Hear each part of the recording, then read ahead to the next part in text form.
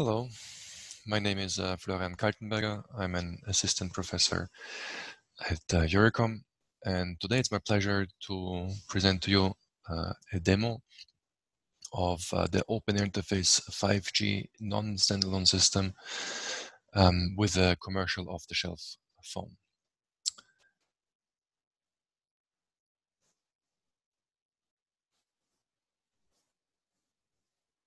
All right, before I start, um, for those of you who don't know, I want to quickly um, explain what OpenAir Interface is.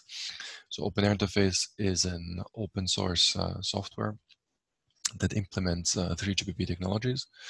So starting from uh, LTE, which is also 3GPP release 8, um, going on to LTE Advanced, release 10 to 12, LTE Advanced Pro, release 13, 14, and now what I'm going to show today is the first version of the 5G um, implementation of 3GPP, which is also called Release 15.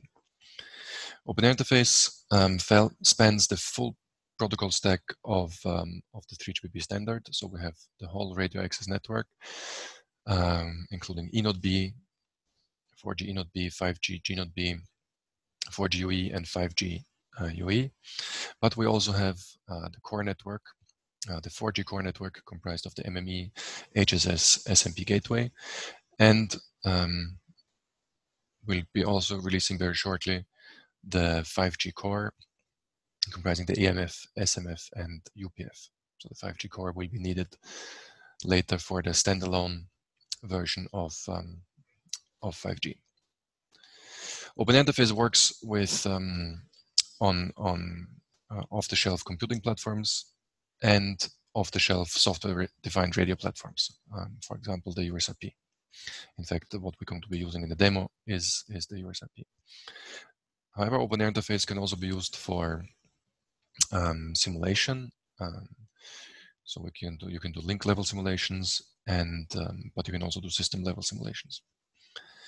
So Open Air Interface makes it feasible today to put 4G Node B, 5G Node B, 4G PC, or 5G core in the commodity x86 based computer or in a data center um, and allows you to build um, your own network at a, at a very low cost and, and play around with, uh, with the network um, and implement new features. The objectives of OpenAir Interface are to build a community of individual developers, academics, and major industrial players um, that embrace open source for 5G and to provide a, a common playground um, for this for these different um, groups of people, and um, the idea is with to have a, a real impact on on 3GPP systems with this open source reference implementation of 5G. Um, All right. Uh, the demo I'm going to show you today is the 5G um, new radio non-standalone access.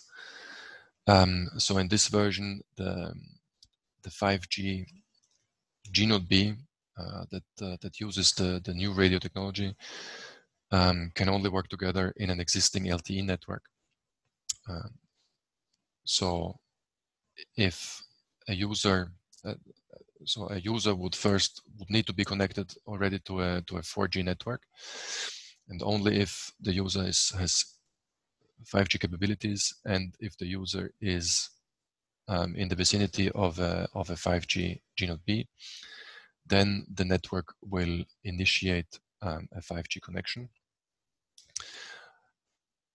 Um, and the user will actually be uh, connected to both 4G and 5G at the same time. So all of the control plane interfacing will still happen over the 4G link, whereas the data plane will go over the 5G link. So this is actually the, the system which is uh, mostly deployed today. Uh, standalone access, which will be the next step, um, does not require um, a 4G network or a 4G core, but instead um, requires um, a 5G core instead of the 4G core. All right, so I'll be showing this in the demo. And what I would like to point out in the demo is this um, connection procedure, the NSA connection procedure, um, which we'll be able to analyze in the in the logs after the demo.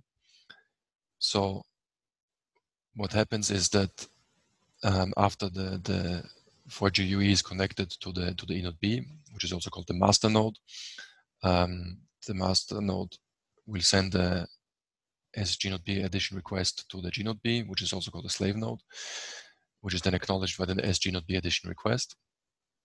Uh, acknowledge. And then the eNode B has also all the parameters of the of the 5G uh, gnode B, and it will send those um, over the 4G link to the uh, to the UE as part of the RRC connection reconfiguration.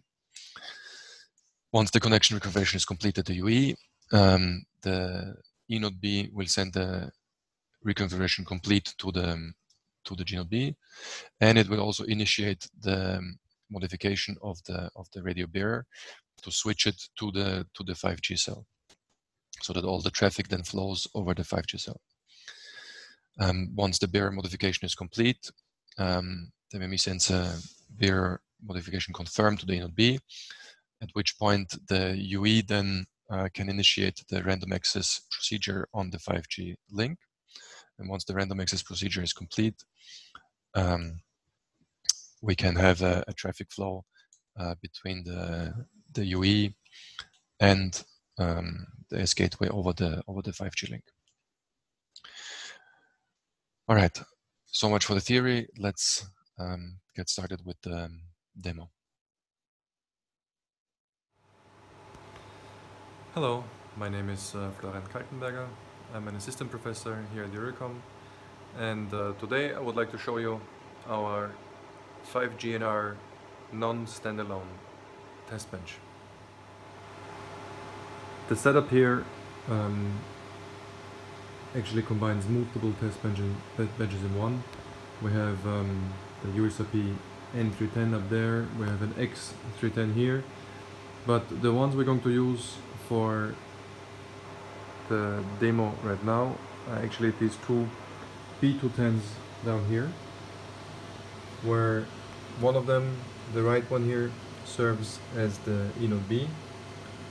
Um, so this one is operating in band 7 and you can see you have the duplexer here for band 7 and the other um, B210 serves as the front end for the gnode B. Um, this is operating in TDD and uh, at the moment we don't have a dedicated front end for it so we simply use two antennas, one for TX and RX.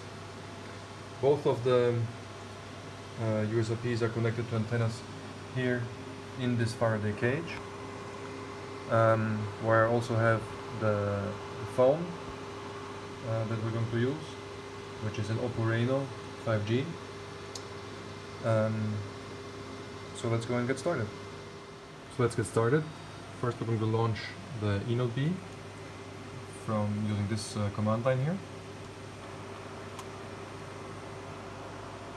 Okay, eNode B is running. And then we're going to launch the gnode B from this window here. Okay, we can see it's running too. Both USRPs are transmitting and receiving, as you can see here. And now we're going to wake up the phone from airplane mode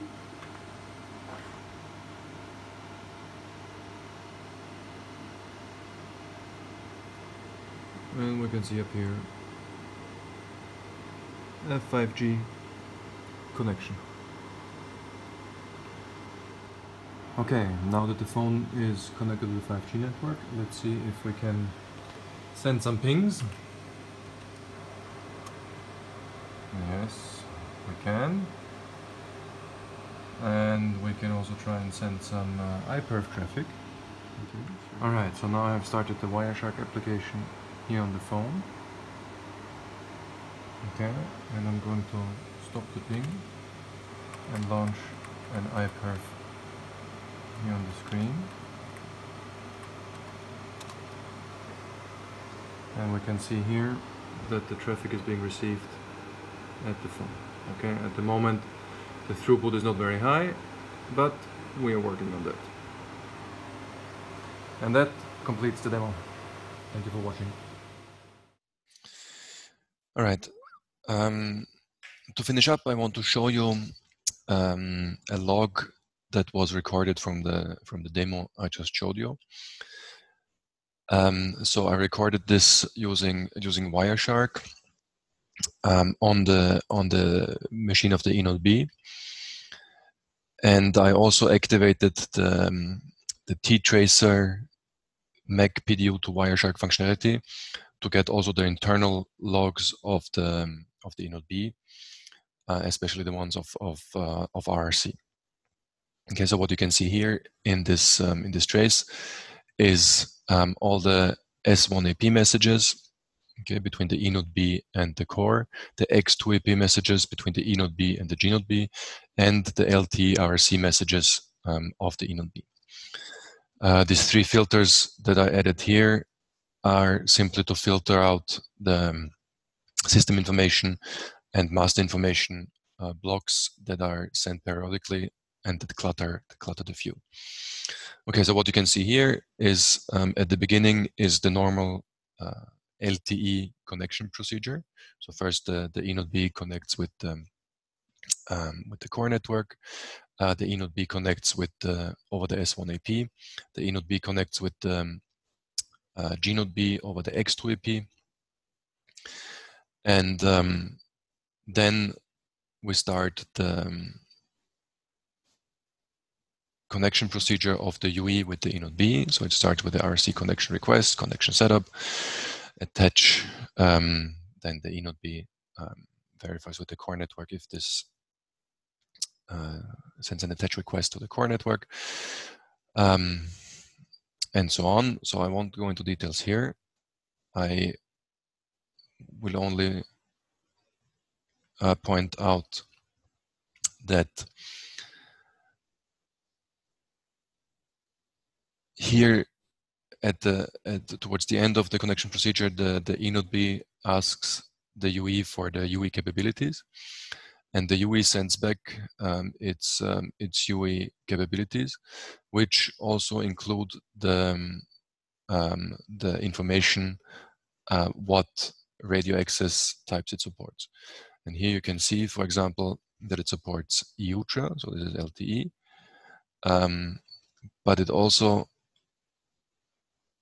supports here at the end you should be able to see that it also supports um, 5GNR. Um,